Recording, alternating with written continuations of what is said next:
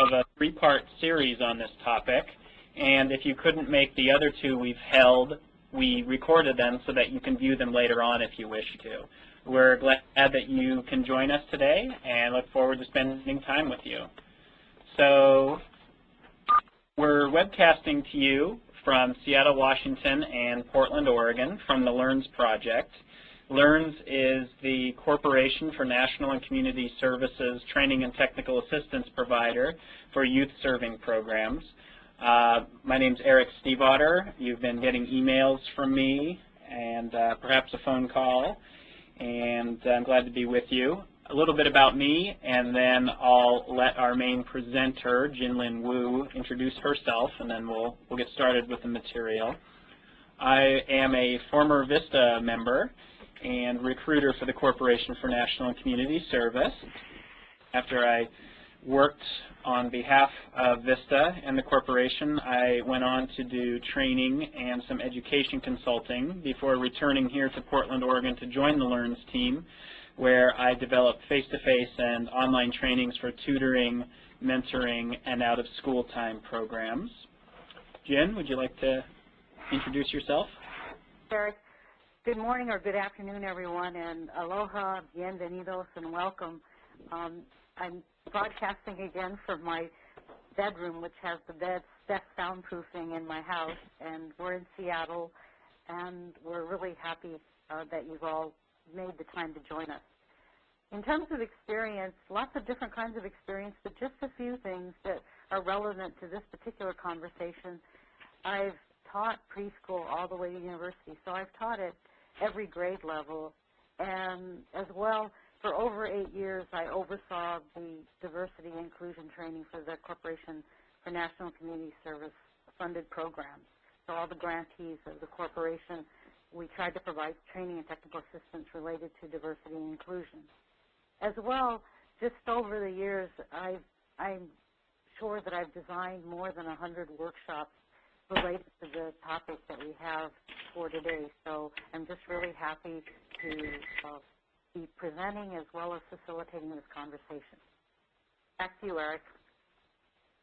Okay, thanks, Jen. And we should mention up front that uh, we've designed this webinar for staff of, staff of youth serving national service programs, but that being said, I think if you work for a program that does uh, that serves other population besides youth, I think you'll find something valuable. And, and certainly this isn't just for national service programs. We we do training of all sorts of organizations within the national service community and and outside of it. So wherever you come from and whatever you're doing, we we welcome you and we encourage you to participate in our conversation today.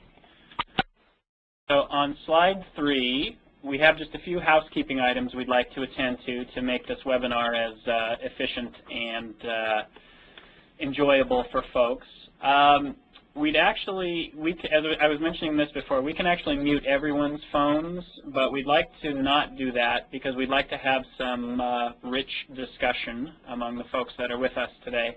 I would ask you to, if you can, mute your own phone. So if you have a mute button on your phone or a mic button, you can use that. Uh, don't use your hold button or we'll get to hear your choice of uh, hold music.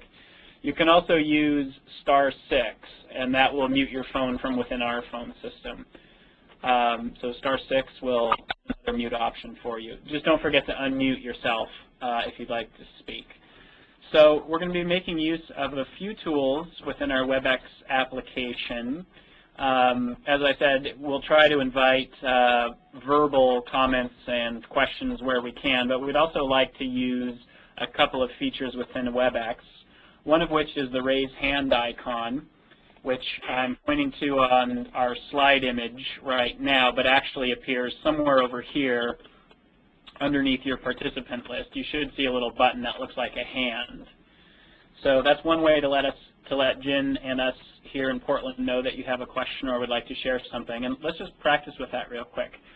So if you could click the raise hand button if you have uh, relatively nice weather right now, what you would consider good weather. Raise your hand.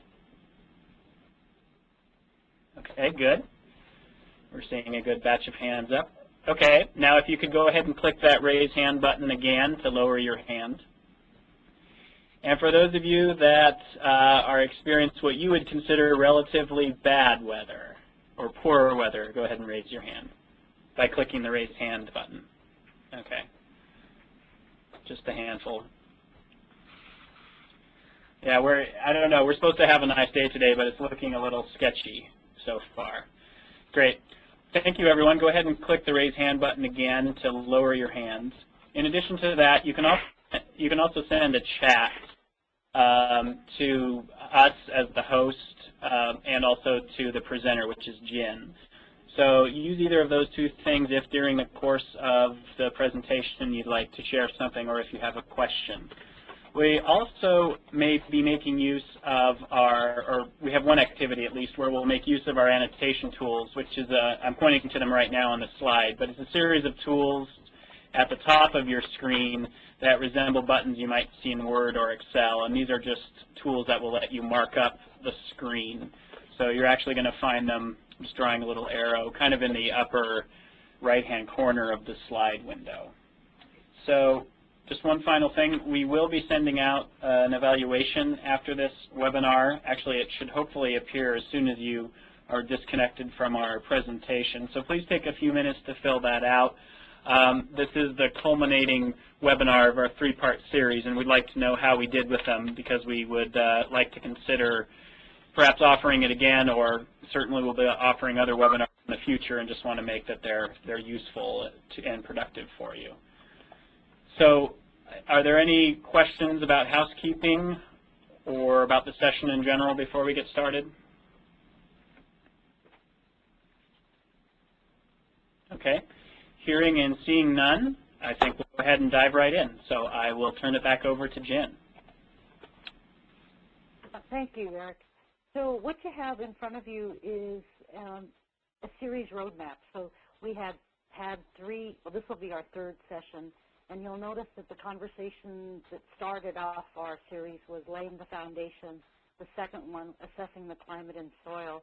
And today's conversation is all about training staff and volunteers. As Eric has said, they're recorded. They're there for you to access in the future.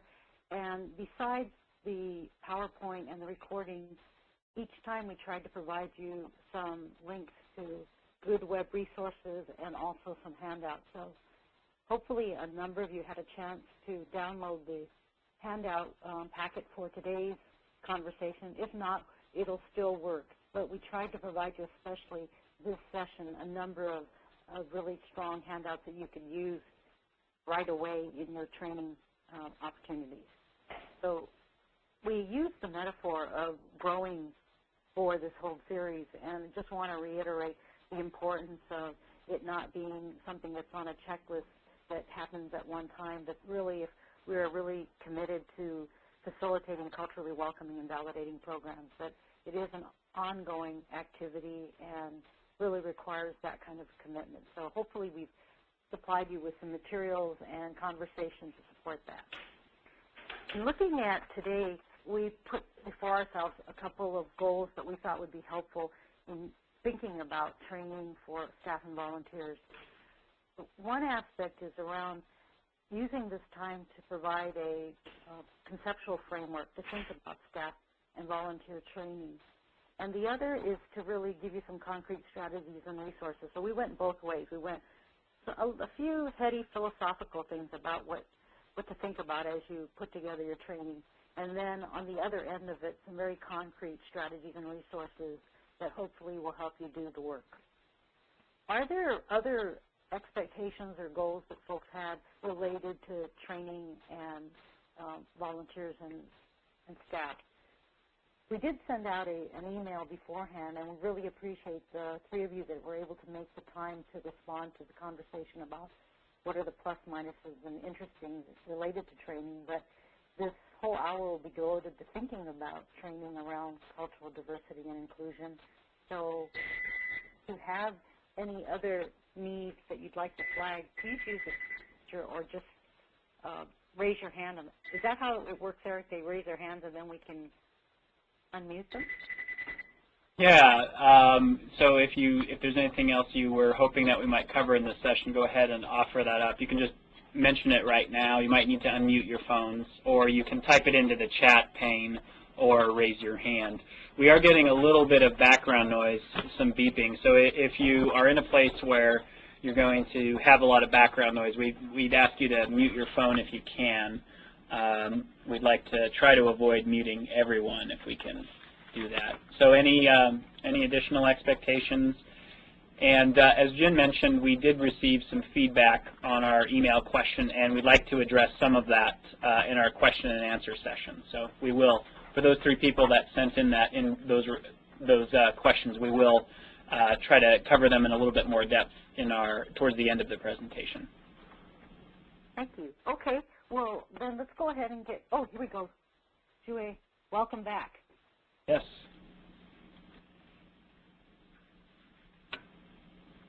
Yes, so Jue as, was asking how staff, invol staff, volunteers, and mentors can be more culturally inclusive when they are spending one-on-one time with the child. Yes, that will be great. Yeah.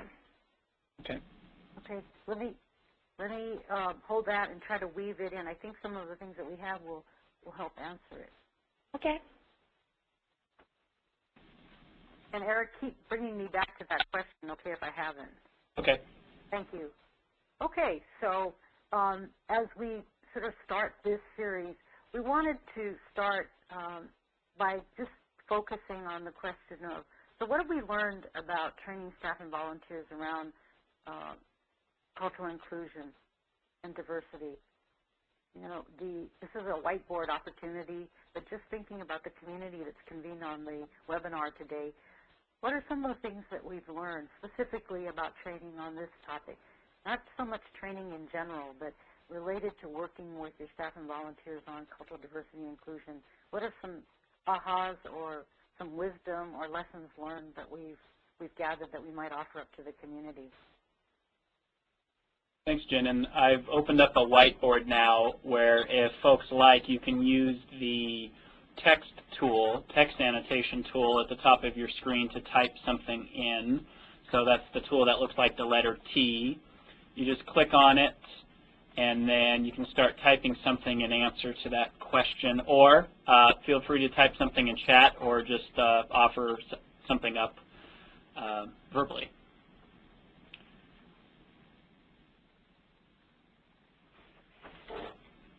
Anyone? And uh, or maybe it's um, if you're new to this work, maybe it's something you learned from the last couple of webinars that we've had if you've been able to participate.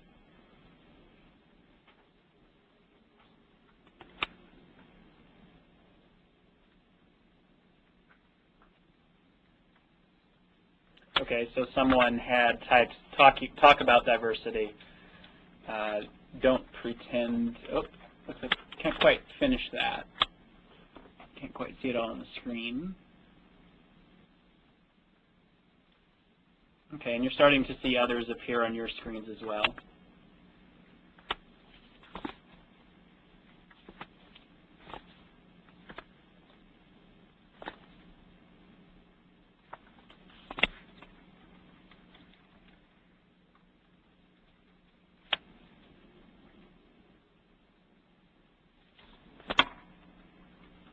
Eric, there's no way to prevent it from being on top of, No, unfortunately not. okay, okay. I want to just go ahead and, and acknowledge the ones that have been put up there.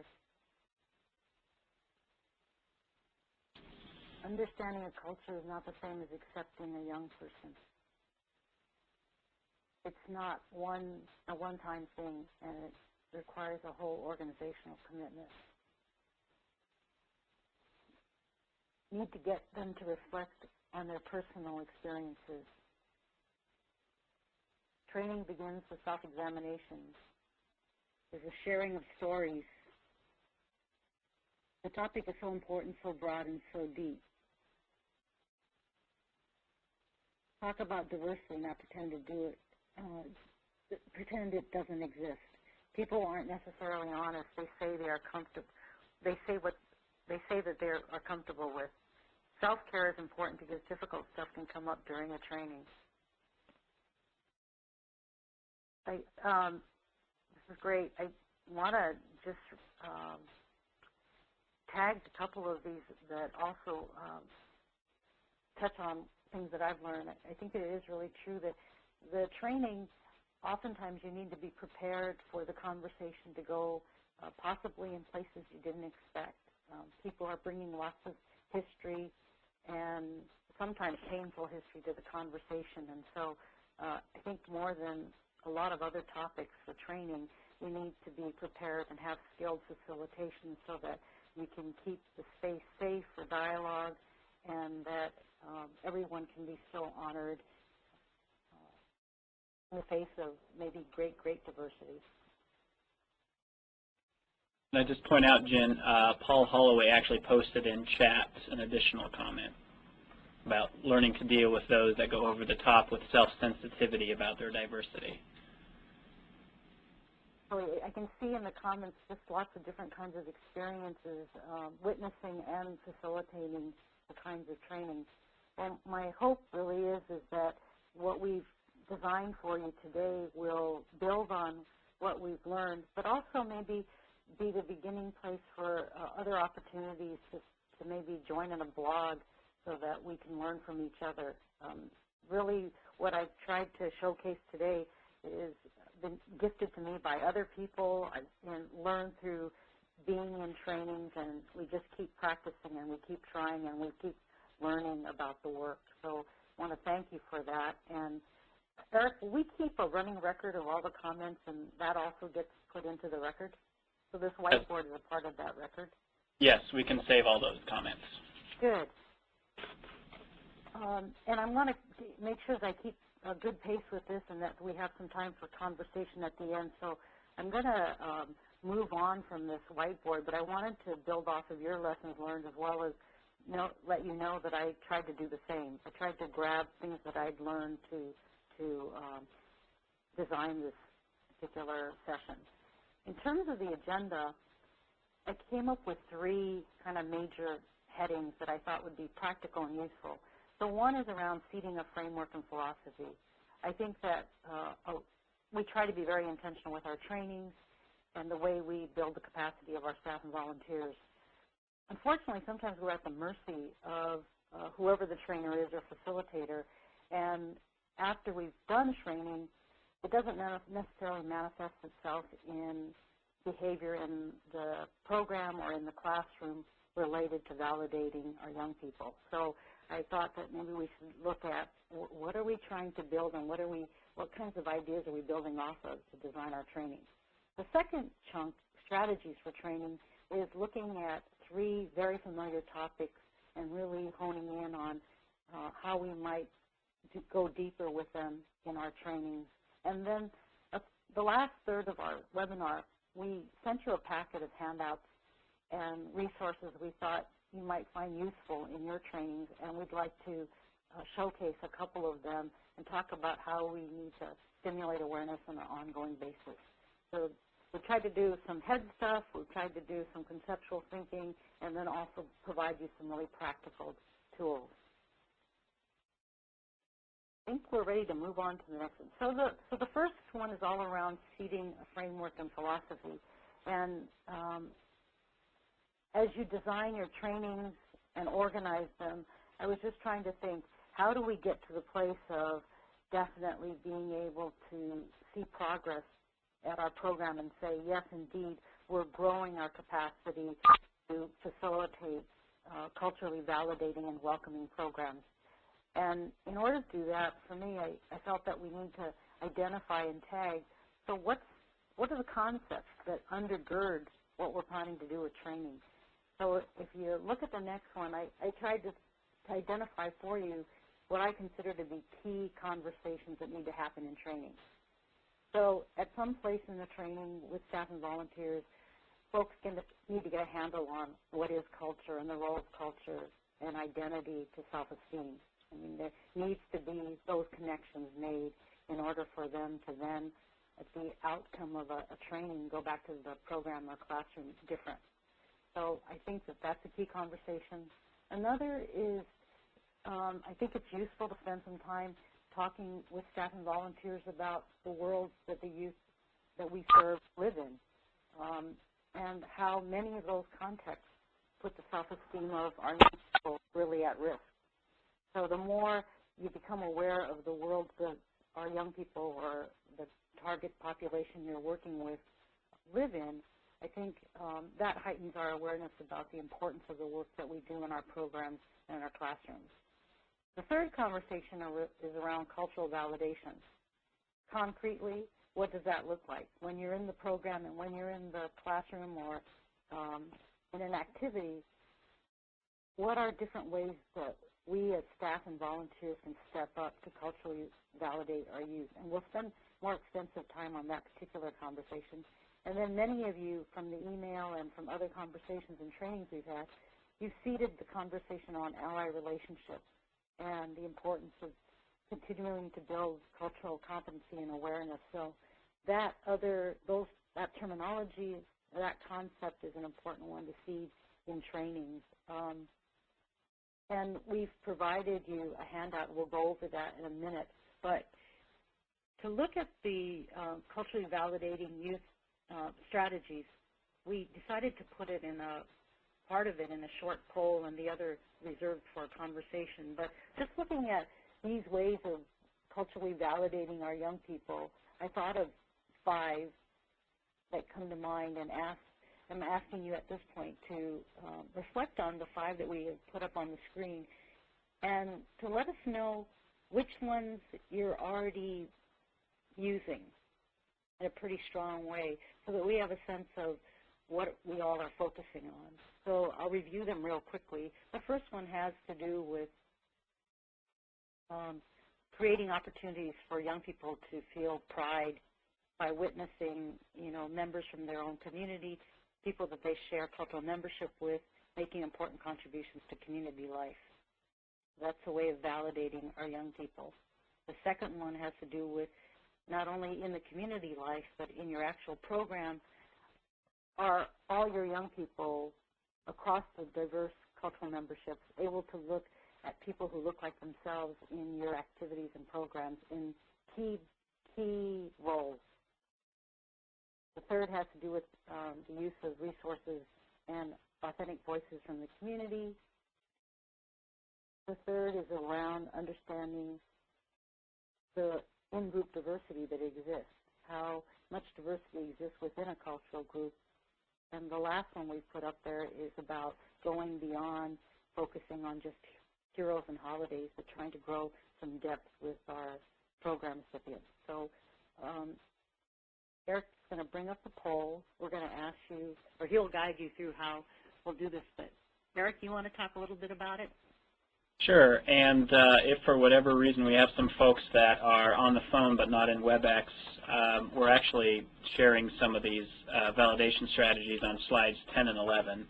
So I've just opened up a poll uh, that asks you on this first set of five validation strategies which you've used in training staff and volunteers. So on the right-hand side of your screen, you should see a poll that's opened. Um, so just select all of the strategies that you've used in your training of staff and volunteers and then click Submit.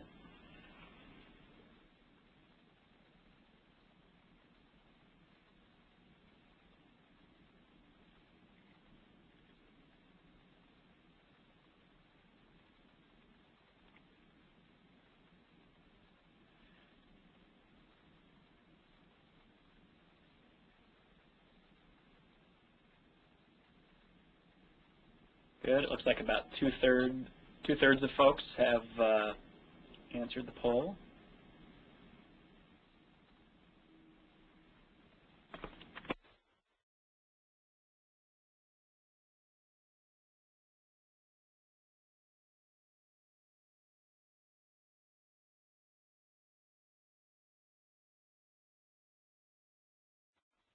It just looks like there's a couple more people finishing up.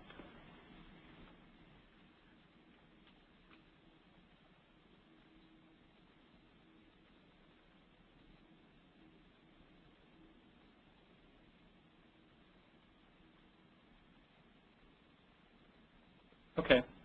So I think it looks like the vast majority of folks have submitted a response to that poll. So thank you for doing that. I'm going to close it now and then share with us um, what people selected. So lots of uh, lots of people using strategies four and five, Jen. Right. Uh, Actually, in our trial run, that, that's what our results were too. Um, would anybody like to just speak to your experience with it? Uh, As you can see, we're playing around with trying to make webinars interactive as possible, and we're still learning this. But um, in terms of using four and five, since there are a number of folks who have, would anybody like to just share some of your experience with it? these particular strategies in your program. Yeah, and you can um, you can unmute your phones and share something, or as before, raise your hand or uh, type something in the chat pane.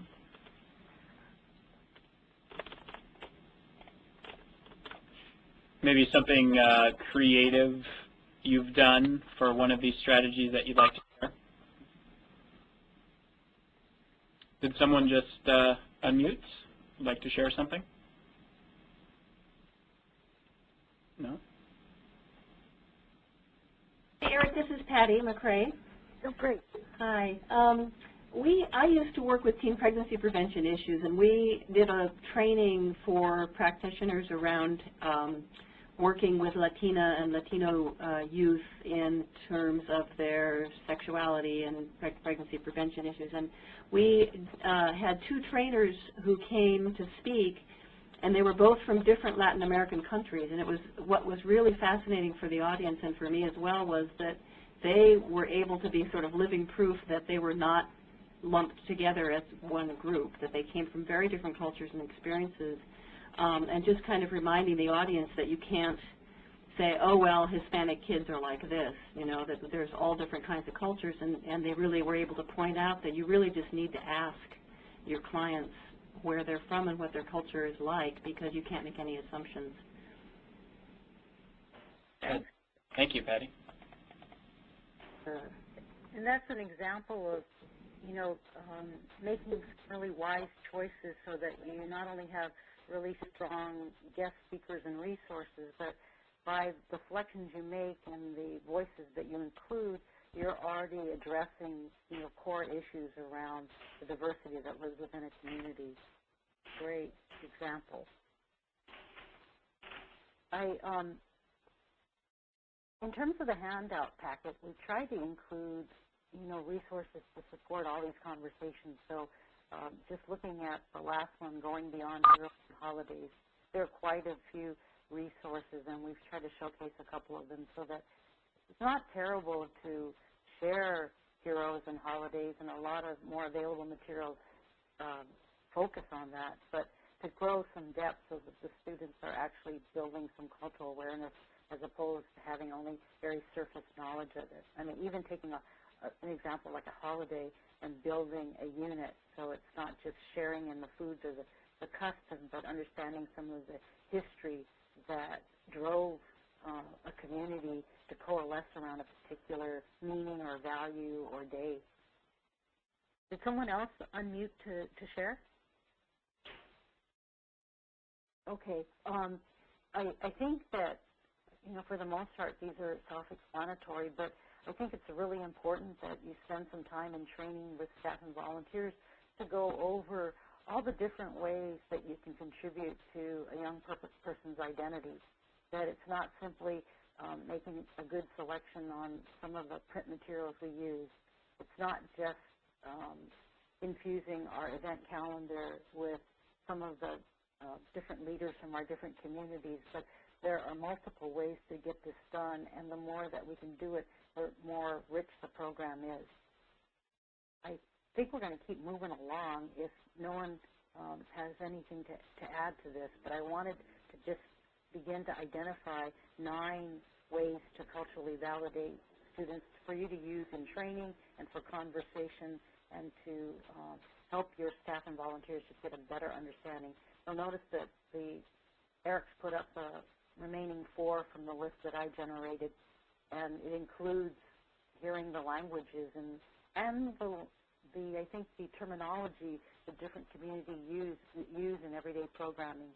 So as it becomes a normal part of your program or classroom, it sends a message to our young people that, you know, this is part of the community. Um, the seventh point is around um, grabbing and honoring the things of a community and showing respect in a way that sends a message to program staff and to the young people about how important that cultural group is and how to show respect. The eighth point is around um, service learning and community involvement. I think one thing is to import things to the classroom or the program, but another validation strategy is to create opportunities within the community and across the community for our young people to serve and to connect and not only make contributions, but to begin to appreciate all the things that are going on in the community, and that be an important validation strategy. Um, and then the last one I just wanted to stress that every community that continues and persists, there is great resiliency. There are lots of challenges, and the whole conversation around how resilient a community is and how community copes with a lot, a lot of different things, I think is an important lesson to teach our young people. So I just wanted to uh, provide you with sort of that kind of a conceptual framework. In, in thinking about designing um, outcome objectives and goals and lessons, also put together a handout that hopefully you'll find useful. And Eric, do you mind bringing up that one handout in terms of frameworks for seeding? Sure. It'll take just a second here.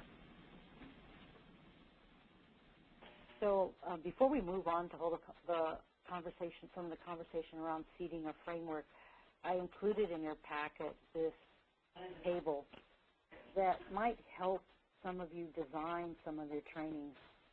I think um, sometimes we rely on our trainers so much to bring in the knowledge, and we're just not quite sure what we should be asking them to train to, what concepts, what ideas if you're hoping to grow culturally validating and welcoming programs, to me, these are some of the core concepts that, that underlie that then. So I hope you find that useful and uh, as you proceed to design trainings for your staff and volunteers that you might consider um, having your trainers or yourself or your staff facilitate conversations for the team around some of these uh, conversations.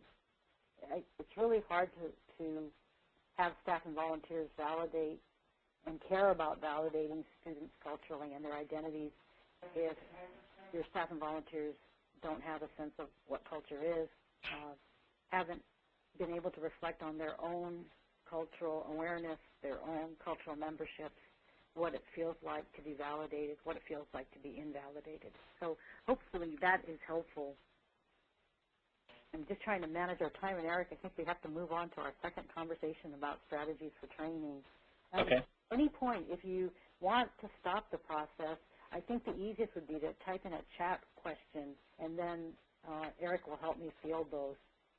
Sure, or uh, press the raise hand button also.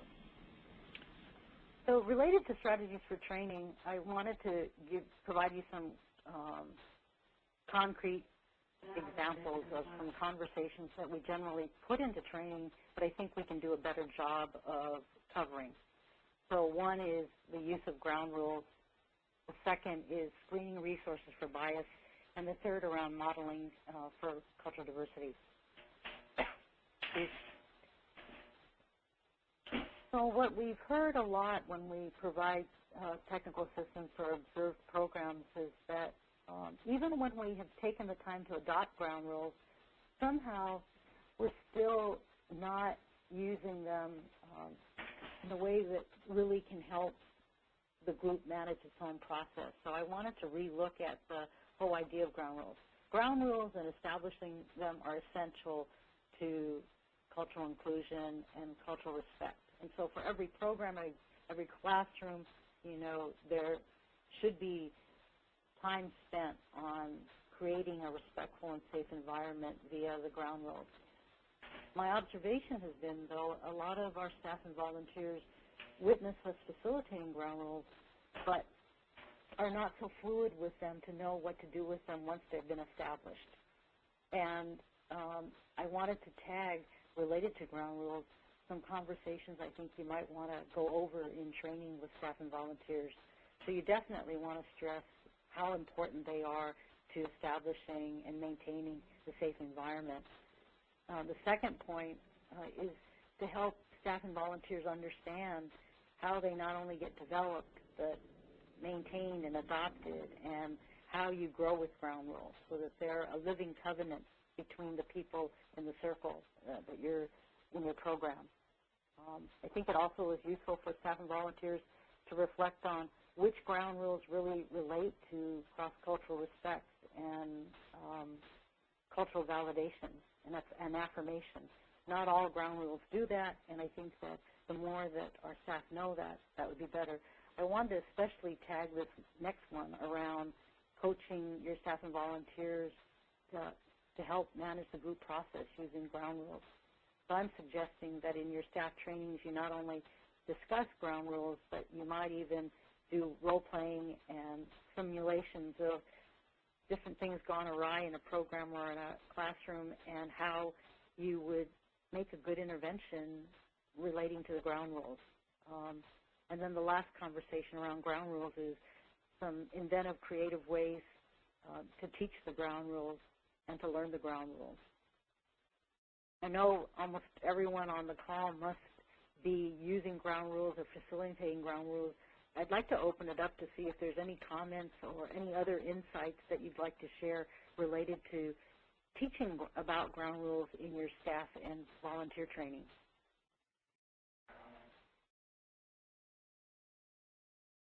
Anybody? So folks want to unmute their phones or just uh, type something into chat. Okay, it looks like uh, Jui has uh, comments or questions. Hi. Um, can you hear me? Yep. Yes. I think, okay. So when we're doing training for adults, kind of it feels like um, acting with like children when you're asking them to be respectful and one person talks at one time and things like that. So the ground rules, ground rules kind of sometimes feel silly when we are training adult mentors. Um, any ideas on that? So you, usually just tend to not use the ground rules because we feel like, ah, everyone knows that they shouldn't be turning on their cell phones. Um, or I'll take a stab at it, Julie, and then I want to let anyone else add to it. I think that it, um, I have used ground rules across age groups and haven't had any problems. I, I really believe in the, their importance. I think that sometimes it might be a timing thing, and so sometimes I will offer up three or four so that I can facilitate the conversation more quickly. mm-hmm. That might be one thing that might be um, challenging folks.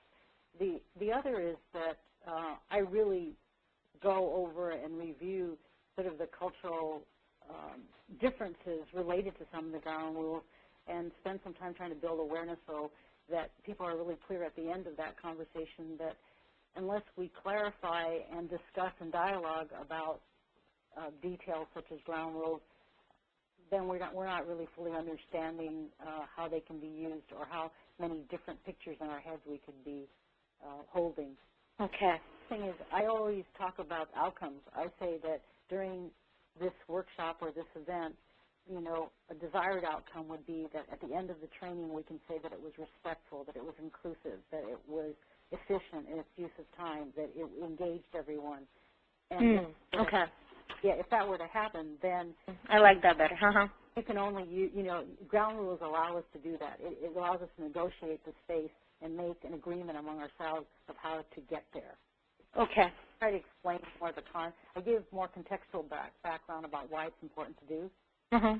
And yeah, and I've been pretty successful. Is there anyone else that wants to add to that when you've been challenged by uh, maybe a more adult population with the ground rules?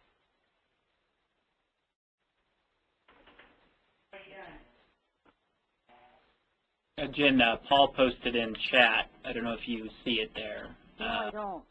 oh, okay. He wrote, to get the message across to those resisting the importance, you can role play and put them in the other person's shoes. Oh, that's a great idea. So some role reversal. Okay. And I think it's really appropriate to use um, sort of role playing to practice this so that your staff and volunteers can see how it can live in a space. I think it's um, it, it doesn't work as well if you just sort of have them witness you facilitating a ground rule conversation with students or young people or children, and then um, you managing the environment.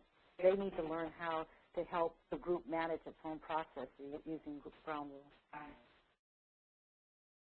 Uh, in your handouts, we've also included two um, resources.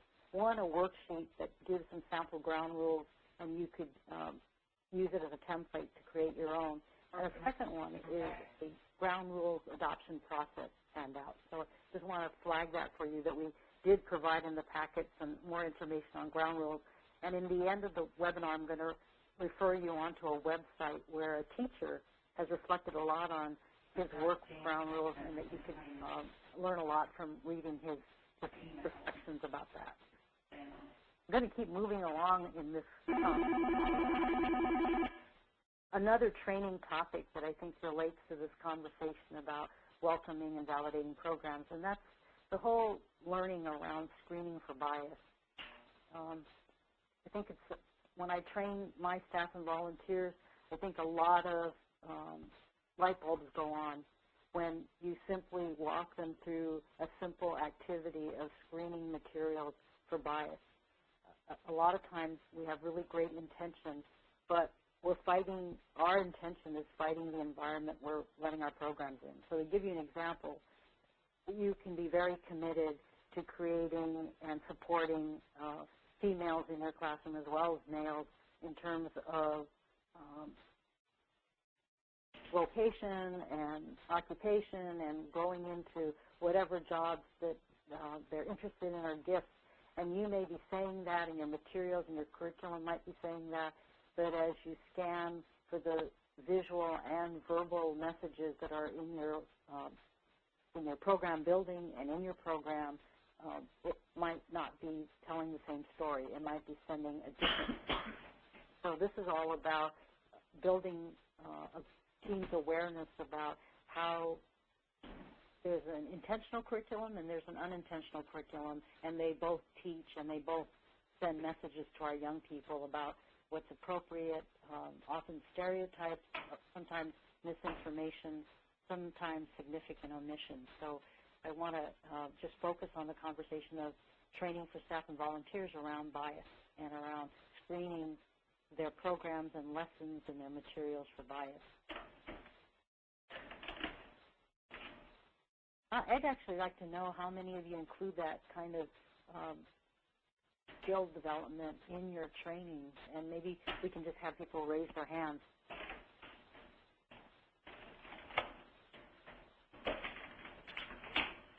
In my window, I don't see anything. Yeah, Jen was just asking um, if if you do some type of screening for bias in your materials, if is that something that you, or in your is that something you provide in training for staff or volunteers? So if it is, if you could uh, just click the raise hand icon. And as Jen mentioned, uh, we have in the handouts that were sent out a couple of documents that will help with this. Uh, 10, 10 steps as well as a, as a example document that talks about how this kind of screening for bias is carried out. Okay, so it's like Jennifer and Paul incorporate some type of screening for bias in their training of staff and volunteers. And I just encourage you, if, if your hope is for culturally welcoming and validating programs, that this topic might be, um, if you haven't added it to your training curriculum, that you might think about that and look at some of the resources we provided. And in the more extensive bibliography, there's also other resources to support that training. The last uh, conversation, and I'll briefly cover that, and then we'll jump to stimulating awareness. But the last one is all around modeling. I know that this has got to be a very familiar conversation in all training for volunteers, um, even beyond um, designing culturally welcoming and validating programs or facilitating them. But I just wanted to make sure that in your training for staff and volunteers that, that you revisit this conversation um, because I think more than anything, staff and volunteers need to be critically aware that what they say and do speaks volumes. You know, and we've included in the handout package um, one information sheet that summarizes some of the points uh, about modeling and leading this initiative. So I just want to say, so what we've done is to relook at your training and think about the conversations of ground rules, the, the uh, issue of modeling, and then the issue of screening for bias in your program environment. And hopefully those three chunks will serve you in your future training. Our last chunk of the webinar, as our time runs away with us, is the whole conversation about stimulating awareness. And Eric, you can already pull up slide 17. The next one. Yeah, and let me, we're still getting a little bit of background noise, so uh, let me just remind everyone to please mute your phones by pressing the mute or mic button or star six. So, sorry, go ahead, Jen. Sure. So under the conversation of what I know is that beyond the dedicated times where you're offering your staff and volunteers training, that to to really seed and grow this work and this commitment by the whole team, you really need to grab the opportunities that exist beyond dedicated training. So whether it's at the volunteer retreat or at staff meetings or over a brown bag lunch, um, there are opportunities to take, you know, 15 to 20 minutes and facilitate different activities and conversations that will continue to build awareness. And this, uh, the rest of our handouts really are trying to support you in that endeavor.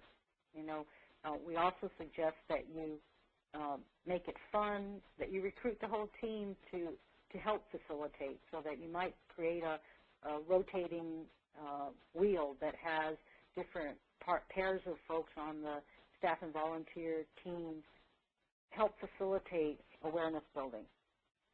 Uh, and, and also to um, really share with the staff that it can be so uh, much fun and enjoyable to spend time getting to know each other on lots of different levels. And also for, as program leaders, to think of ways of rewarding and recognizing people who take initiative. So we're talking about the times beyond training even that you can grab that 15 or 20 minutes and continue to grow awareness. On the next slide, we actually summarize then a bunch of handouts that we included in the packet.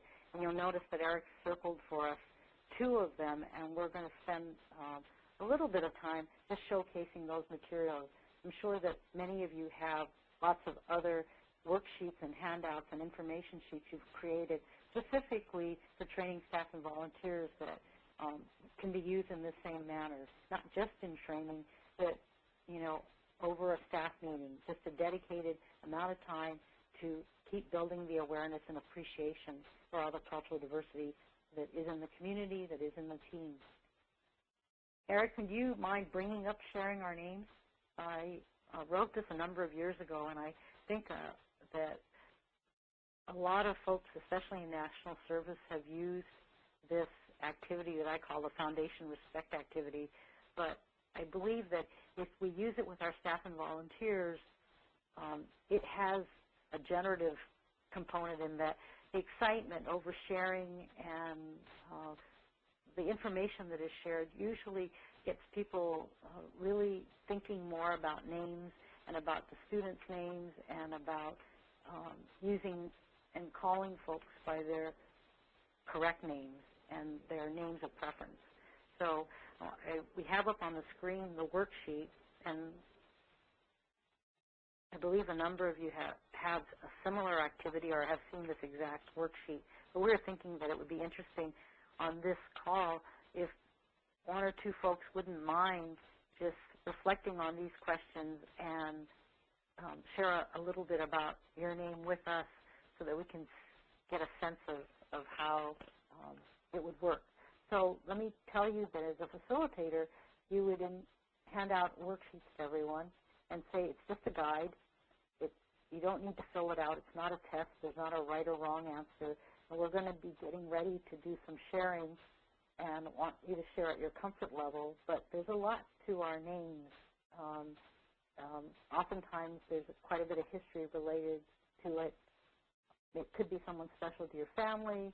Um, it could be uh, something that you're someone who loved you very much, um, some connection or history they have that factors into your name. Many of us grew up being called lots of different nicknames. Uh, if you'd like to share that, that'd be uh, wonderful. Um, many of us have shortened our names or had people shorten them. Um, we also have feelings about our names, and uh, if you'd like to share some of those feelings, that would be great too. And during the time, and so that last question is really for the program, is I always try to create an opportunity for uh, participants to let me know the name that they would be preferred to be called.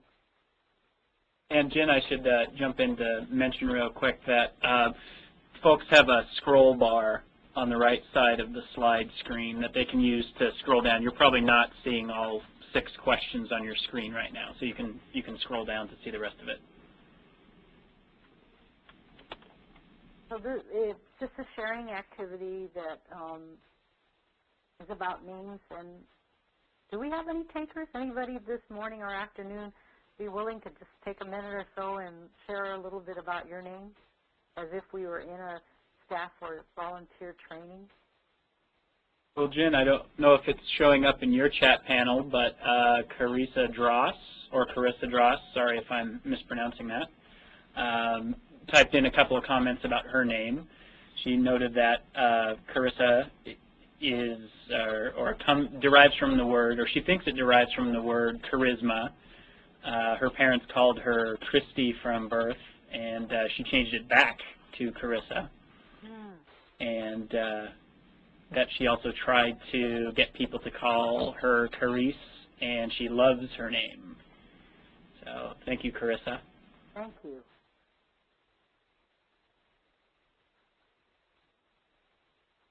Anyone else?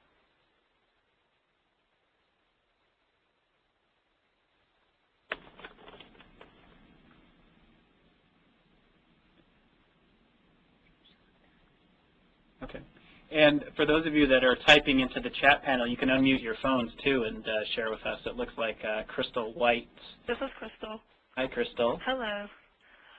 Um, my name, um, actually, when um, before I was born, my mom had three choices: um, either Angel, um, Martina, or Crystal. So she said I didn't look like a Martina when I was born, and although I did look like a beautiful little angel, um, she opted to name me um, Crystal. So that's how I got my name. Um, Okay. as far as nicknames go, um, I don't have a lot of people that call me by this nickname, but some people call me Chris. Okay. Um, just shorten Crystal a little bit.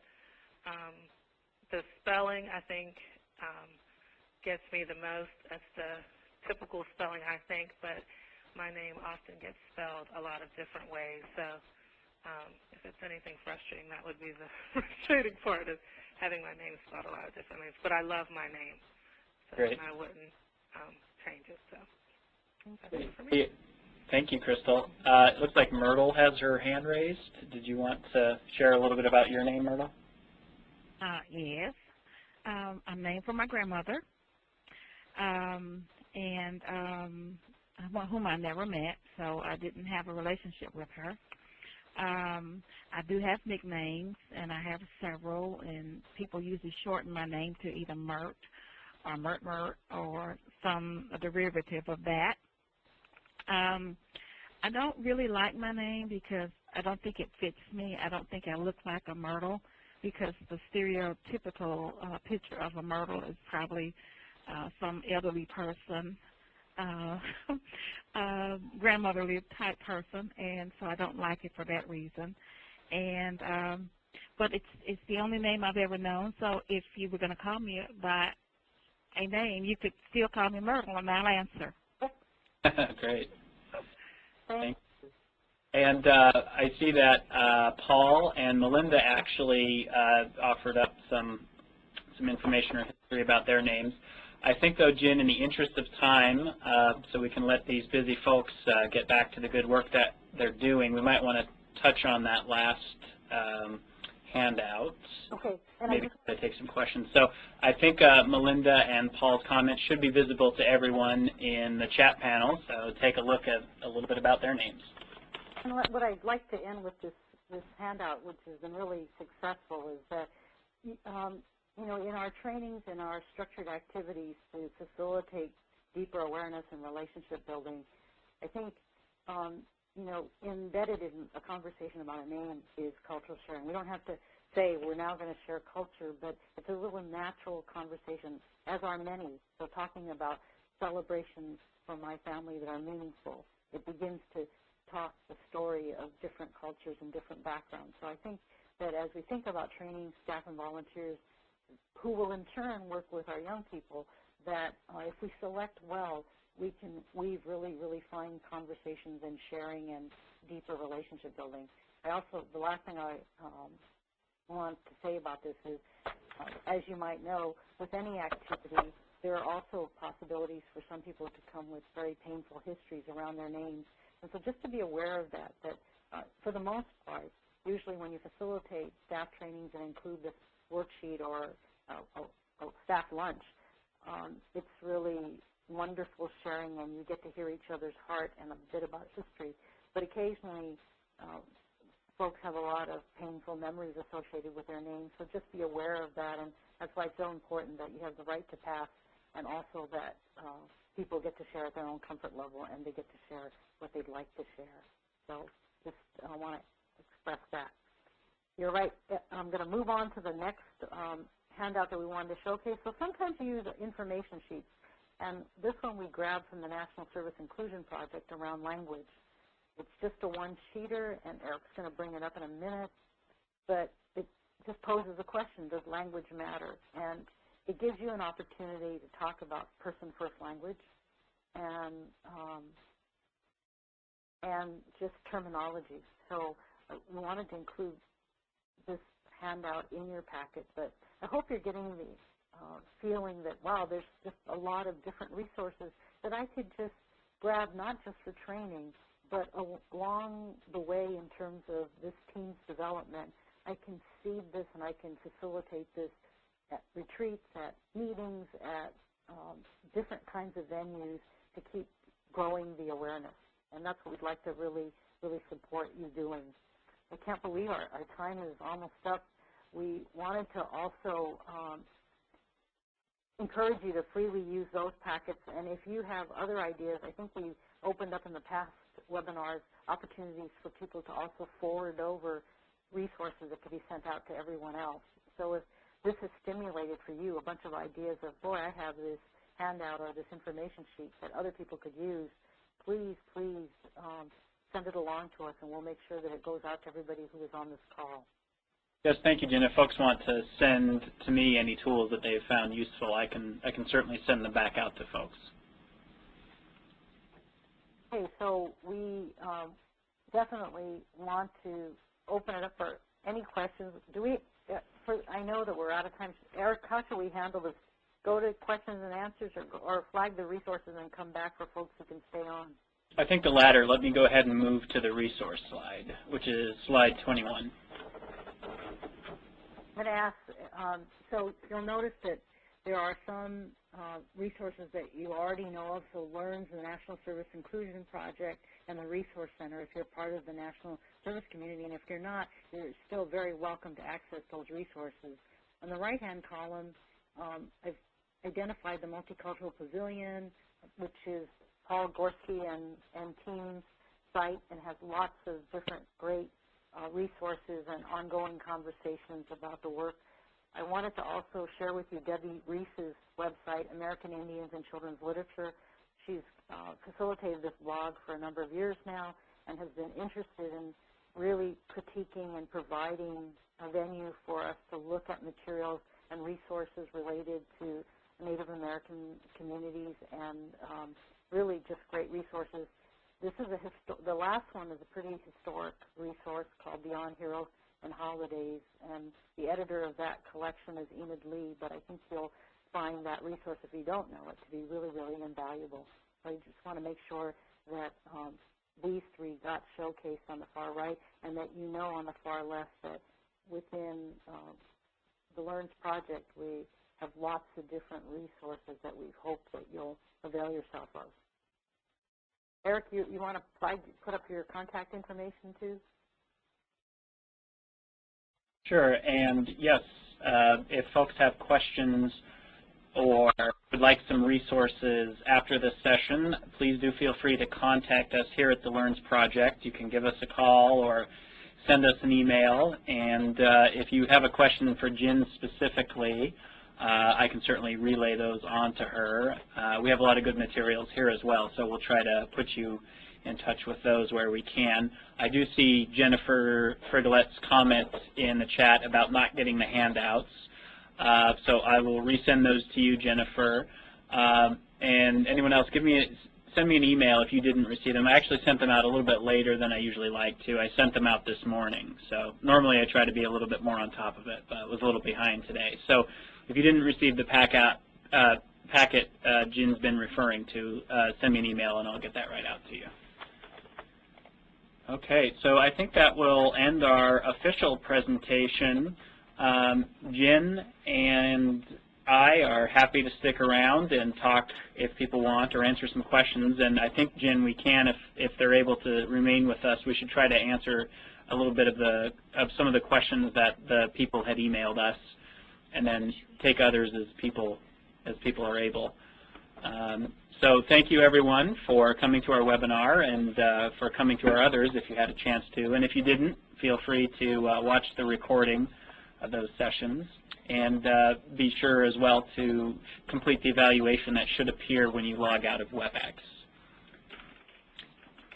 Thanks, Eric. This is Nikki. I just wanted to make sure, um, Jui, if you're still on the line, I think Jen answered your question that you posed in the beginning in some ways throughout, but I wanted to make sure that, that we address that before you sign off. Uh, yes, I'm on the line, but I think I got quite many answers. Okay, okay. great. great. Just, sure. Then we'll just open it to anyone else.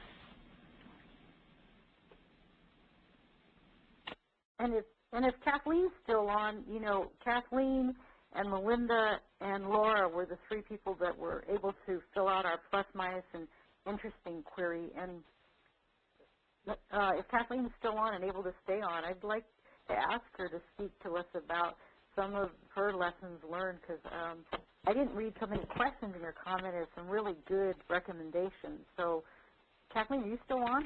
I'm still here, Jen. Yeah, you know, um, would you mind just talking a little bit about uh, the important role of leadership and about focusing on one isms? Um, sure. So I think um, one of the things that I wrote about was how I think kind of broadening the definition of diversity tends to allow more people to access the conversation. So if they can see places where maybe they both have felt on the outside or not included or discriminated against, um, it sometimes opens the door for them being able to see how they might also be part of a larger system that they've gotten some benefits from being um, in other in other groups. Um, so I think that kind of that broad view of diversity often can open up that conversation. Um, I don't know if other people have thoughts about that. I also think that, you know, the point that you said in your email around um, as we think about training staff and volunteers, how critical it is for there to be just um, everyone on board. So leadership buy-in and participation in the trainings really sends a message to staff and volunteers about how important the training is. And I guess maybe if I could add to that, Jen, I feel like I um, have had some really painful experiences of trying to convince supervisors that this was important and looking back on it now, I could see how I didn't have a lot of tools for talking to them about it or helping them see how it was important. I think I mm. used the, I was pretty self-righteous about it. and sorry about that. Um, so I don't know, Jen, if you have some thoughts you can share about, um, you know, just how slow this work often is and how to kind of just keep at it or just other thoughts you have about when you feel this is really important and the people who supervise you, you're trying to convince them how important it is as well and you're hitting barriers of roadblocks. Just any advice?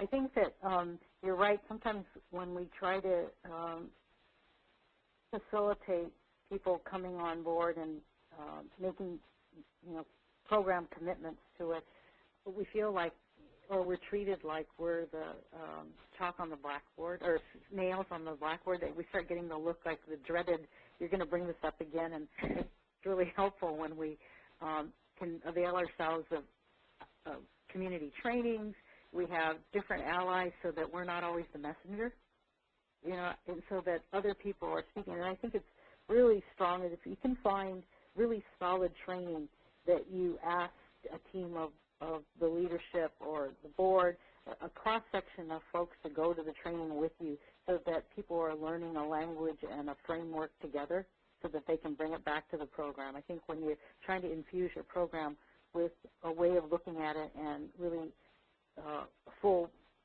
commitment, it's really nice when you have a cross-section team that's being the driver. But that's one idea that I can think of. Um, I also didn't know if, uh, Melinda, are you still on? Yep, I'm still here. Oh, you know, Melinda, you know, when you talked about um, the interesting developments around when you combine people of different cultures together in interesting ways and what was starting to happen in, in your program. Can you talk, share with the rest of us a little bit about that? It was really exciting to read. Um, I'm not really sure if, um, I'm not really sure what you what you want me to talk about. Oh. Sorry. Yeah, you know, under your interesting developments, you wrote that, you know, you were having the students and volunteers, come, you know, they're paired up and they're often from very different cultural uh, memberships. Yes. And how that was sort of helping the students shift. Yes, you know, it was, um, and not just the students, but we are a mentoring program. So it was really opening the eyes of um, our mentors as well, just um, being aware of, you know, the different cultures out there and just really even what's entailed of being a part of a different culture and opening their eyes to it and becoming a part of it as opposed to just looking from the outside in, Mm-hmm. Mm-hmm. um, if that makes sense. So, yeah, it's been really neat to see, you know, not just when they go through the training to see that, you know, they have them hear about what they're going to experience, but then once they get to know the students and the students get to know them, how those experiences then turn into acceptance and um, becoming involved in, you know, really just encouraging and helping build the student self-esteem. I spent a lot of time designing intergenerational strategies where uh, young people are paired with community elders on activities, um, different kinds of actions for the community. And through just pairing and repairing folks, you find so much, uh, some, so many of the barriers coming down and some deep affection growing and a lot of awareness about groups and people saying things like, golly, I used to think that all elders were like, or I used to think, you know, all the kids that were from that neighborhood are, and they are starting to have those um, stereotypes broken down and their prejudices challenged. So I, I'm a great believer in the combining and recombining and the more opportunities that we can present to our staff volunteers and our young people to pair and work in meaningful ways with other people, um, there's chances for them to uh, grow in their understanding and, and allyship.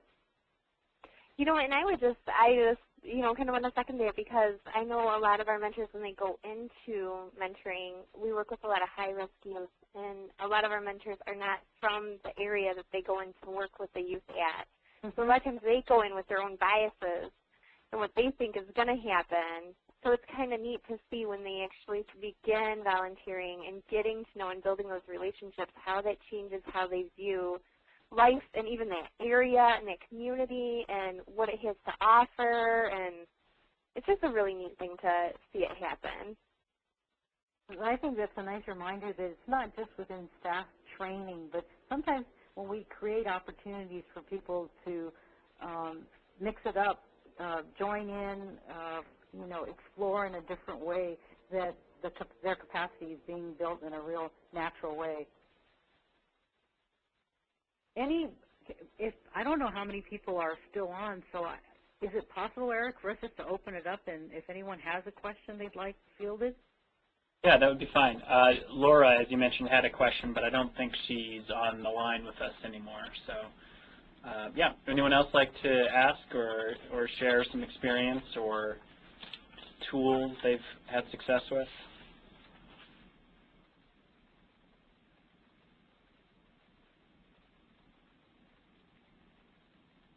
You might need to uh, unmute your phone if you've had it on mute.